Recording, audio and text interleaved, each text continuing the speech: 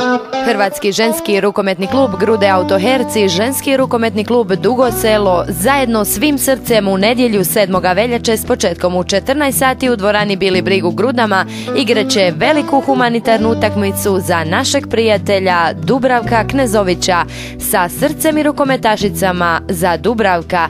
Cijena ulaznice je 5 maraka, a sav prihod od prodaje ulaznica namijenjen je za pomoć obitelji 18-godišnjeg mladića Dubravka Knezovića koji se bori s leukemijom od svoje druge godine života. Nakon višegodišnjeg liječenja bolest se nekoliko godina smirila i to sve do jeseni 2014. kad se ponovno pojavila.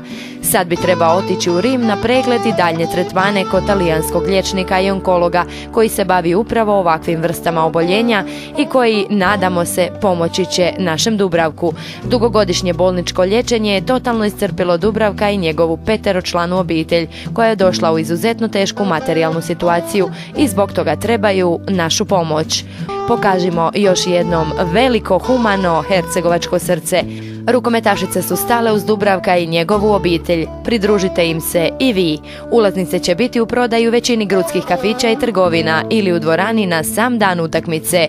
Svoju donaciju za Dubravka možete platiti na račun kod Unicredit banke 3381 40 25 80 69 69 33 za Dubravko Knezović. Grude 7. veljače 14 sati športska dvorana Bili Brig.